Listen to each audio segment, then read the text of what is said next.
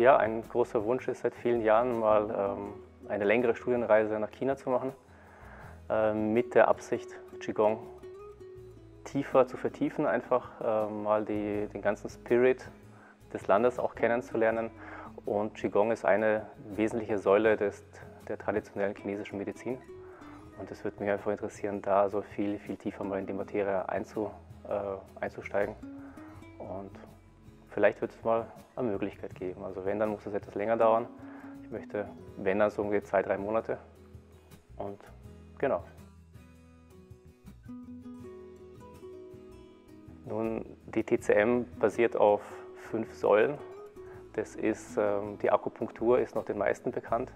Dann gibt es die Ernährungsmedizin, es gibt die Kräuterheilkunde nach TCM, es gibt die Tuina-Massage, eine sehr wohltuende Massage und es gibt eben Qigong. Und Qigong ist einfach ähm, die Möglichkeit, wie die Akupunktur, nur eben man versucht durch Bewegung, durch Atmung den Energiefluss im Körper anzuregen.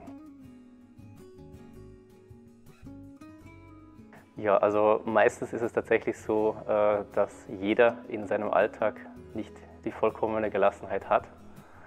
Äh, das heißt, es ist gut, in die Stunde so entspannt wie möglich zu kommen, vielleicht auch schon den Weg in die Stunde äh, versuchen zu starten, einfach mit dieser Gelassenheit, mit dieser tieferen Atmung. Aber auf jeden Fall soll jeder nach der Stunde entspannt, aber auch wieder vitalisierend nach, also rauskommen. Ja, also mein Weg zum Qigong war über einige Umwege. Ich war tatsächlich auch eher im Bereich Sport, eher auch im Leistungsbereich. Ich habe jahrelang Rock'n'Roll Akrobatik turniermäßig getanzt, gerne und viel im Gebirge. Ähm, das Krafttraining ist, gehört auch sehr, sehr wesentlich dazu. Und irgendwann war ich zusätzlich einfach das Interesse zur Meditation, zur Ruhe, einfach einen Ausgleich zu finden. Die Natur hat mir immer schon noch sehr viel Kraft gegeben.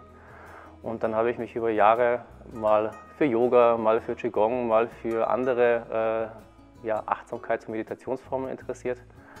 Und irgendwann habe ich gemerkt, dass es in einem Leben nie ausgeht, hier so viele Sachen auf einmal zu lernen und habe mich dann zum Glück, sage ich mal, heute auf Qigong einfach eingelassen, habe viel mehr so außen vor gelassen, habe ähm, mich dann speziell auf Qigong einfach ja, äh, auch zunehmend Kurse besucht, Ausbildungen.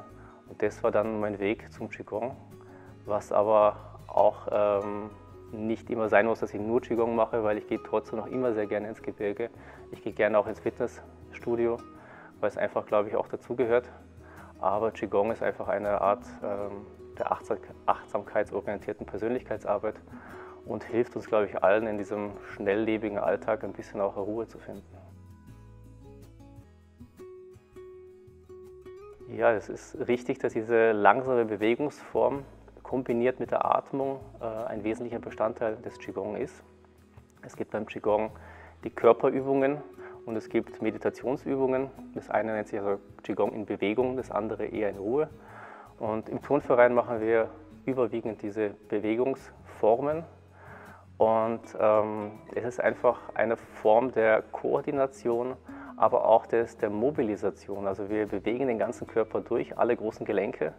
Und das hilft natürlich schon sehr, sehr viel, einfach ähm, beweglicher, aber auch fitter zu werden.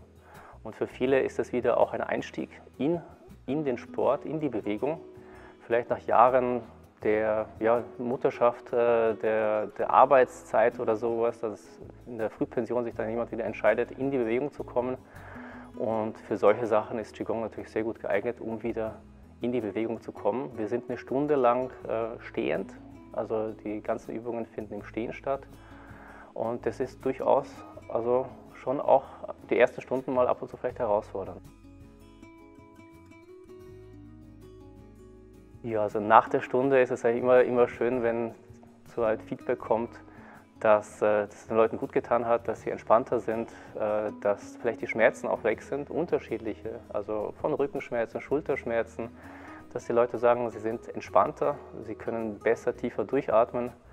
Und ähm, sehr schön sind auch Rückmeldungen, wenn dann so nach, nach Monaten was kommt, dass es jetzt, nachdem ich seit einigen Monaten bei dir bin, geht es mir wieder besser. Ich kann wieder leichter zum Wandern gehen, ich komme wieder besser in die runter auf den Boden oder irgendwie ich kann wieder nach oben greifen. Viele Übungen gehen ja auch äh, mit den Händen nach oben.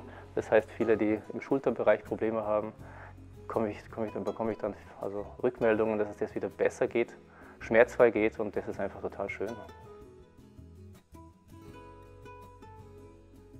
Also mindestens einmal die Woche. Das ist das, was wir hier im Turnverein haben. Das heißt also einmal die Woche sollte man Qigong, für Qigong einfach eine Stunde mal Zeit finden. Äh, ich selber versuche an fünf, mindestens fünf Tagen die Woche äh, Qigong zu praktizieren. natürlich, wenn man die Zeit finden würde, wäre es gut jeden Tag. Dann muss man aber auch so ehrlich sein, dass es halt oft nicht geht. Äh, man kann aber auch einfach mit wenigen Übungen schon mal starten. Das heißt, wenn ich mal an einem Tag nicht die volle Stunde Zeit habe, reichen auch schon mal einfach zwei, drei Übungen. Und mit 10, 15 Minuten, die sollte jeder für sich finden, kann man sich irrsinnig viel Gutes tun und hat da über lange Zeit sehr, sehr schnell einen, oder über kurze Zeit schnell einen positiven Nutzen. Tatsächlich ist das alles im Bereich Gesundheit, Bewegung, Sport.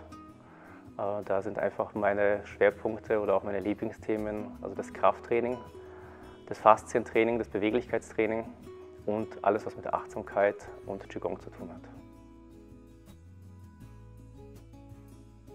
In der Freizeit gehe ich gerne selber ins Gebirge. Ich mache auch gerne mal also geführte Touren, aber tatsächlich, wenn ich alleine bin, gehe ich sehr gerne auch alleine ins Gebirge. Ähm, ich finde, Wels hat einfach die Traunauen, da kann man Stand-Up paddeln, da kann man schwimmen gehen, da kann man rauf oder runter laufen. Ähm, bin gerne draußen in der Natur, lese gerne, koche gerne, treffe mich mit Freunden und Oft ist natürlich irgendein sportlicher Charakter, Bewegungscharakter oder einfach ähm, der Genuss und das Treffen guten und lieben Menschen. Mir als Trainer gefällt am meisten an meinen Trainingseinheiten ja, das gute Gefühl danach. Ähm, ja, das ist wahrscheinlich das, das stärkste und schönste Gefühl.